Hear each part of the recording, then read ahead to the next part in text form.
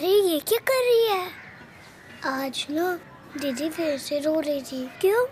दीदी कह रही थी, उसे स्कूल जाना है।